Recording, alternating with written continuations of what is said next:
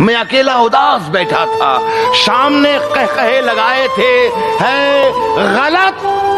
उसको बेवफा कहना। हम्म। हम कहा के धुले धुलाए थे? अरे वाह वाह। है गलत उसको बेवफा कहना। हम कहा के धुले धुलाए थे? आज कांटों भरा मुकद्दर है। हमने गुल भी बहुत खिलाए थे। बहुत अरे